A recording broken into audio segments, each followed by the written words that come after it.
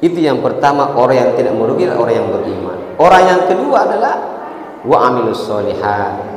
Setelah kita percaya, kita yakini tentang agama Allah, mata pagi orang sempaja berjamaah melebih dan dia sempaja salat sendiri. Lebih utama salat berjamaah setiap langkah kita ke masjid, majenne kiri bolata, kita berudu dengan sempurna kemudian kita berangkat ke masjid setiap langkah kaki kita itu dihapus dosa-dosa kita. Kita yakini itu. Kita percaya itu.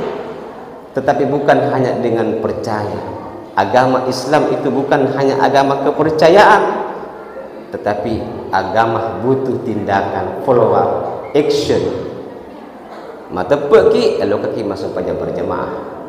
Orang-orang yang tinggal di masjid dekat masjid apalagi kalau laki-laki itu dianjurkan untuk salat fardu di masjid. Ada yang mewajibkan. Dia nasa sampajan dan rekomon cek mono cek di masjid. Dia nasa sampajan berjamaah di masjid. Tapi kita tidak pakai itu. Dianjurkan. Kalau tidak ada kegiatan kita tidak ada uzur diusahakan kita salat berjamaah di masjid. Ramaikan masjid ini. Jangan sampai kita salat fardu kita di rumah. Bagi seorang laki-laki kita berusaha untuk sholat berjamaah. Kalau kita yakin bahwa sholat berjamaah itu mendatangkan kebaikan kepada kita. Oleh karena itu amilus solihat. Tunjukkan iman kita dengan perbuatan-perbuatan yang nyata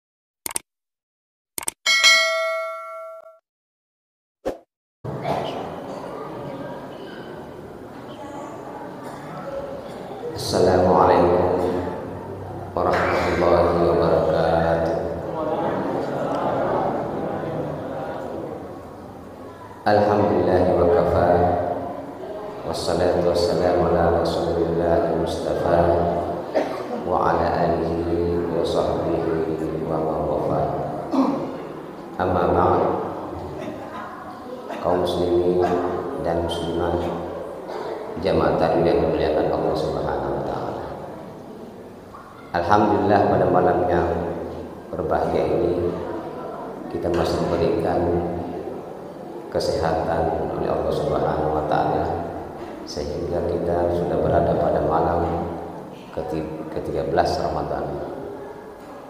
Satu nikmat yang luar biasa kita diberikan kesempatan untuk sampai pada malam ini di bulan suci Ramadan.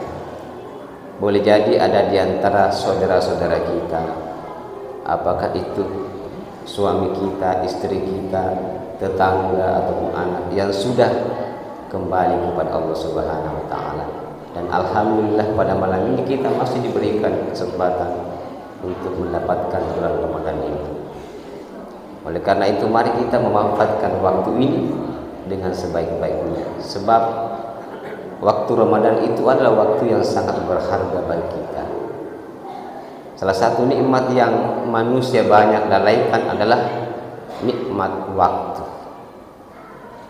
Dalam Al-Qur'an Allah Subhanahu wa taala berfirman, "A'udzu billahi minasyaitonir wal asr innal insana lafi khusr illa allazina amanu wa 'amilus shalihat wa tawasaw bil haqqi wa tawasaw bis sabr. Ayat ini surah Al-Asr ini menggambarkan betapa pentingnya menjaga waktu. Dan termasuk orang-orang yang merugi yang menyanyiakan waktu. Wal asri demi waktu. Allah Subhanahu wa taala berfirman bersumpah dengan menggunakan nama waktu wal asr. Innal insana lafi khusr sesungguhnya manusia itu berada dalam kerugian rugi manusia manusia apa yang rugi yaitu orang-orang yang tidak memanfaatkan waktu dengan sebaik-baik. Dulu orang-orang Arab ketika mereka berdagang kalau dagangannya berhasil narik untung ya dia mengatakan waktu inilah waktu yang baik. Mabaraka iwatu nasaba imega saroku untung tetapi ketika mereka tidak mendapatkan keuntungan rugi dagangannya maka mereka berkata waktu inilah waktu sial. Majayasu nasabah dega agak untuk sar kuras nah inilah orang-orang yang membedakan waktu sial dengan waktu yang tidak yang baik. Dalam agama kita tidak ada istilah waktu sial waktu sial waktu yang baik adalah tergantung kita memanfaatkan waktu itu. Kalau kita memanfaatkan waktu itu dengan sebaik-baiknya maka kita termasuk orang yang tidak merugi. Jadi orang-orang yang rugi itu bukan berarti kita orang yang kehilangan harta. Dalam ayat ini tidak seperti itu. Orang yang tidak mendapatkan keuntungan yang besar. Tetapi orang-orang yang rugi adalah orang yang menyia-nyiakan waktunya apalagi di bulan Ramadan ini setiap amalan kebaikan yang kita lakukan itu dilipat gandakan oleh Allah Subhanahu wa. Maka rugilah kita kalau setiap ibadah yang kita lakukan tidak maksimalkan. Kalau di luar bulan Ramadan kita membaca mungkin tidak mampu menamatkan satu juz dalam satu hari. Diusahakan di bulan Ramadan dimaksimalkan ibadah kita kita tamatkan satu juz satu hari. Itu sudah ada keberkahan waktu. Oleh karena itu kaum muslim yang berbahagia. Jadi termasuk orang-orang yang merugi menyanyikan waktu. Rasulullah Shallallahu Alaihi Wasallam bersabda, "Ragima anfu rajulin, celakalah, rugilah seseorang zukirtu indahu falam yusalli alayya." Disebut-sebut diriku, namaku di hadapannya, tetapi tidak berselawat kepada aku. Dari tepu ya Nabi kita as-salawat kita. Allahumma salli wa sallim ala nabiyyina Muhammad. Atau Allahumma salli alaihi sallallahu alaihi. Ketika kita mendengarkan Nabiullah Muhammad sallallahu alaihi disebut maka kita dianjurkan untuk bersalawat. Kata Rasulullah sallallahu alaihi wasallam, "Sallu alayya berselawatlah kepada aku. Fa inna salatakum tabaluguni haitsu kuntum. Karena ibadah salawatmu itu pasti sampai kepadaku meskipun kita berada di Kabupaten Bone letu salawat tak lalu kita Muhammad sallallahu alaihi wasallam. Termasuk orang merugi adalah rogiba amfu rajulin rugi seseorang. Dakhala ramadanu alaihi. Tamai ramadan ini nerapi ramadan ini tetapi tidak diampuni dosa-dosanya. Fala yughfarlah dosanya tidak diampuni. Kenapa? Karena setiap kebaikan yang kita lakukan di bulan Ramadan itu diampuni dosa-dosa kita. Mas mas puasa di bawah kita beribadah puasa itu sudah diampuni oleh Allah. Man shoma ramadana imana wa ihtisaban lahu ma taqaddama min kalau kita sudah berpuasa dengan penuh keimanan dan keikhlasan maka dosa-dosa kita itu berguguran oleh karena itu jangan sampai kita termasuk orang-orang yang merugi tidak memanfaatkan waktu dengan sebaik-baiknya apalagi bulan Ramadan ini. Ayat ini lanjutkan illal amanu. Siapa yang tidak merugi adalah yang pertama orang-orang yang beriman. Tahu mata Sebab itu yang dipanggil untuk melaksanakan ibadah puasa adalah orang-orang yang beriman. Ya ayyuhallazina amanu. Ayat ini tidak berbunyi ya ayyuhal muslimun. Wahai orang-orang muslim, tetapi yang dipanggil adalah orang-orang yang mempunyai iman, yang percaya kepada Allah, yang percaya tentang kemuliaan bulan Ramadan, yang percaya banyak kebaikan yang Allah berikan di bulan Ramadan, maka dipanggil untuk melaksanakan ibadah puasa. Kalau kita sudah yakini itu, maka kita sudah termasuk sudah seperempat tidak merugi. Hadirin jemaah taruh yang dimuliakan Allah Subhanahu wa taala. Itu yang pertama orang yang tidak merugi orang yang beriman. Orang yang kedua adalah wa amilus. Setelah kita percaya, kita yakini tentang agama Allah, matapaki orang sempaja berjamaah melebih dan dia sempaja salat sendiri. Lebih utama salat berjamaah setiap langkah kita ke masjid majennek kiri bolata kita berudu dengan sempurna kemudian kita berangkat ke masjid setiap langkah kita itu dihapus dosa-dosa kita. Kita yakini itu. Kita percaya itu. Tetapi bukan hanya dengan percaya agama Islam itu bukan hanya agama kepercayaan tetapi agama butuh tindakan follow up action. Mata pergi lalu kaki masuk pada berjemaah. Orang-orang yang tinggal di masjid dekat masjid. Apalagi kalau laki-laki itu dianjurkan untuk salat fardu di masjid. Ada yang mewajibkan. Dia nasa sampajan dan rekomon cek mono cek di masjid dia sampajan berjamaah di masjid. Tapi kita tidak pakai itu. Dianjurkan. Kalau tidak ada kegiatan kita tidak ada uzur diusahakan kita salat berjamaah di masjid. Ramaikan masjid ini. Jangan sampai kita salat fardu kita di rumah. Bagi seorang laki-laki kita berusaha untuk sholat berjamaah. Kalau kita yakin bahwa sholat berjamaah itu mendatangkan kebaikan kepada kita.